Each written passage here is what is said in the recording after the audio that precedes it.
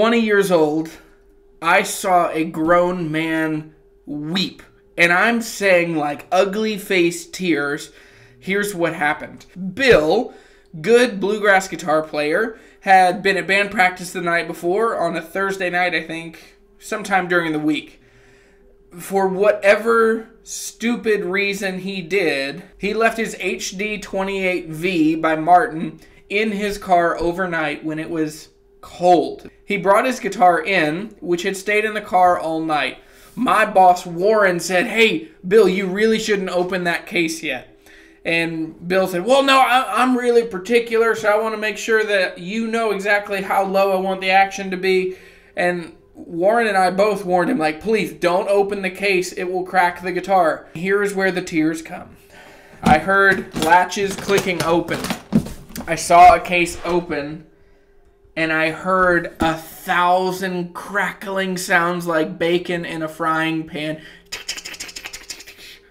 And as we looked at his Martin HD 28V, it cracked like the heaviest of relics I've ever seen. Just thousands of spider web cracks. And Bill broke down, started sobbing. So, the really unfortunate reality with Bill's guitar is that he'd made a serious mistake that involved refinishing his guitar. And for him to refinish his guitar meant that it would never be worth what it would have been worth originally. And he would always know it. Uh, so he ended up sending it back to Martin. They refinished it, but in the book that comes with every new Martin that you get. It's called the Care and Feeding. It's the same kind of packet that's been in them for. Uh, I've seen them as far as the early 70s. Uh, one of the things that they talk about is avoid extreme temperature changes. Those can affect those can affect the finish and they will not be covered under warranty. So, he got his guitar refinished by Martin, but it was not covered under warranty and it was a very sad day. So I don't sweat the actual temp. Hey, that's a that's a good pun. I didn't even mean that. I don't sweat the humidity in my house around my guitars too heavily. I wouldn't worry about it. So I do keep a hydrometer around. So right now in here, it's 59 degrees, so it's pretty chilly down here in my basement. I'm working I'm trying to figure out what to do with heat in this room. But I'm at 52% humidity, the highest I ever got this summer in the basement uh, was 65. I run a dehumidifier down here all the time. I don't keep acoustic guitars down here in the basement. I keep them upstairs with us. But it's actually, I bet the humidity is actually probably lower there when we're running the AC in the summer. But all of that to say, I don't sweat the humidity of my guitars too much. I've never had a guitar crack from high humidity. I think there are guitar companies that are really trying to sell you on the scare factor of your guitar. And so I think if you're just aware of your guitars, if you are playing them regularly, the only guitars that I've really seen people like freak out that something terrible has happened is guitars that they have neglected and not seen in months. And so all of a sudden they open the case and they say like, "Oh no, there's a huge crack in this. When did it happen? I don't know. I've been I haven't played it in a year." That's a problem. So, if you have more guitars than you can see regularly, you probably have too many guitars. So, whether you know it or not, there is coming for you a day in which this amazing guitar that you have dreamed about and you bought and it played so great in the store. There's coming a day in which you're going to pick that same guitar up and you're going to think, what happened? The action is so high. Or you're going to say, oh no, it's so buzzy and the neck is so wrong. First, you are leaving the warmth and beautiful time that is summer and fall and the humidity starts dropping and you're like, "Oh, this is great. I can go outside without sweating." But then around January, February, your guitar, the the strings just keep coming down. And the harder you play, it starts buzzing, and so you start playing softer, and then you start thinking to yourself, what is wrong with this? And before you know it, your guitar is just buzzy and unplayable, and it is really not a joyful thing to play your guitar anymore. In the fall and the winter, your guitar will start to lose humidity. So as your guitar and the wood in your guitar contracts, that means you're going to start feeling the sides of the fret ends, especially on electric guitar. On acoustic guitar, you'll get that as well. If you have a bound fingerboard, it's a little better. Um, but you're going to start feeling those fret ends, and you're also going to see the action come down. And remember, action is the measurement of distance between the string and the fret. That is your action.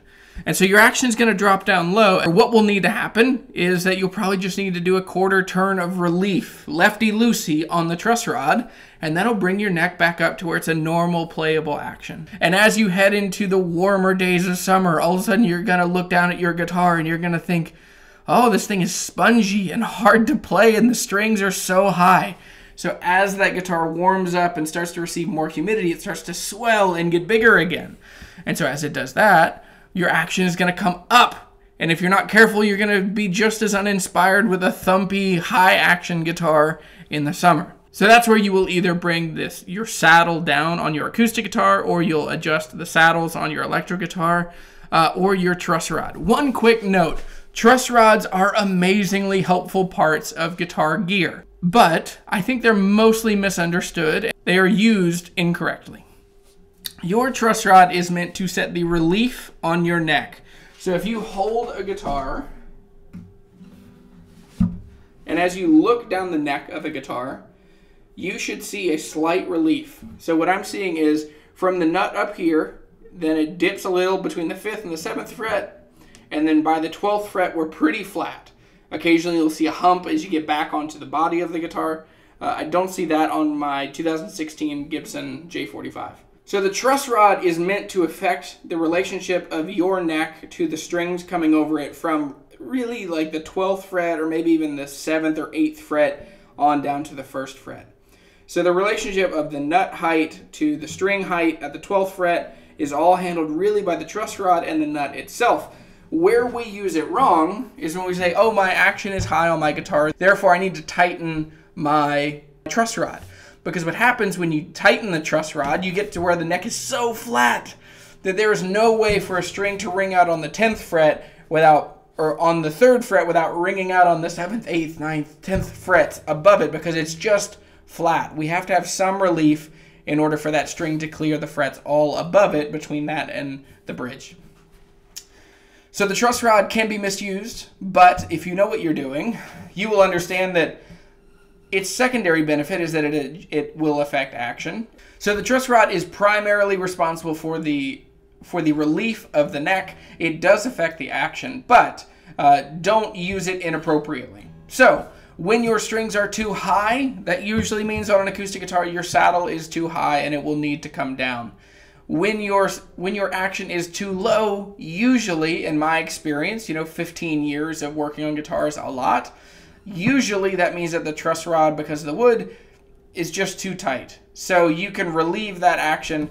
Rarely will you have to shim up the saddle. It seems like when you first buy a guitar, you're going to have the first freak out that first year with most guitars.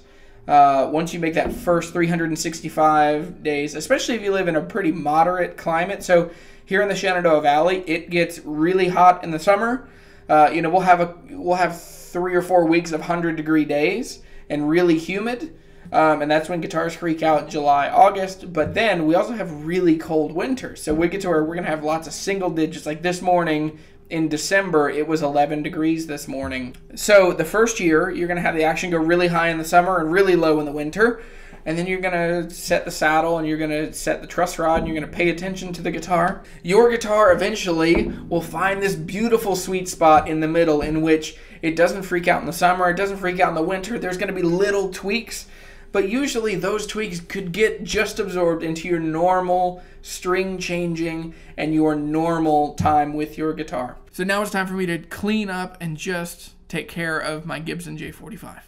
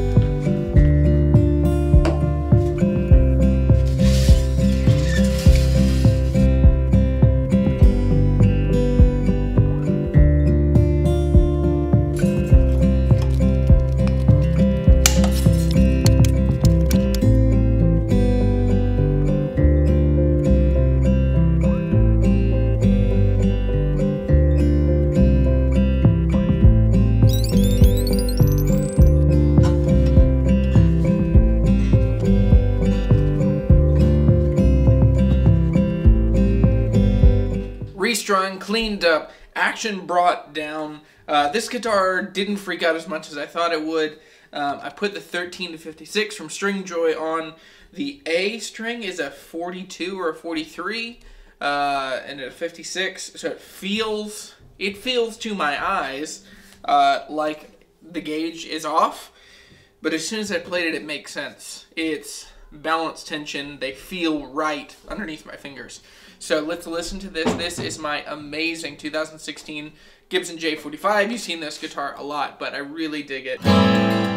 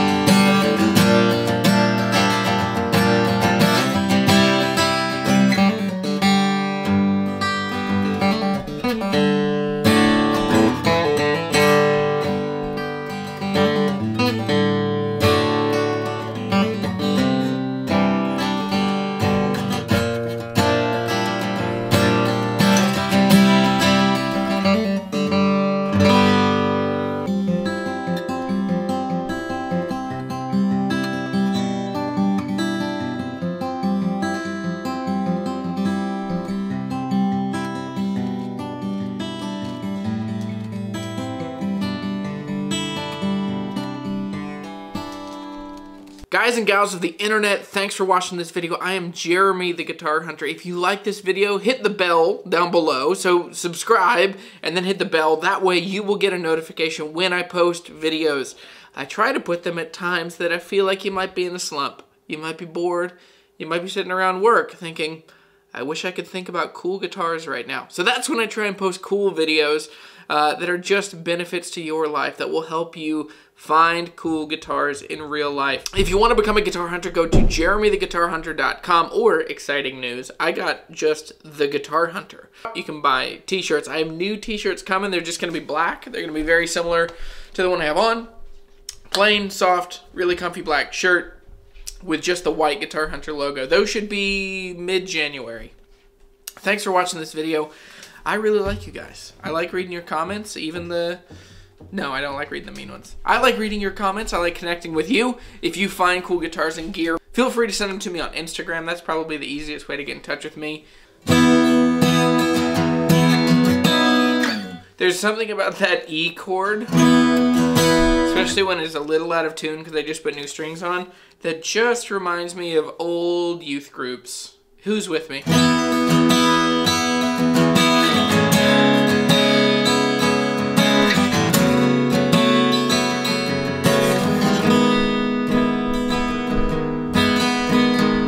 I had a youth pastor that used to end every song, if we were playing an E, he'd play this like E7 thing. And then he would just look into the crowd.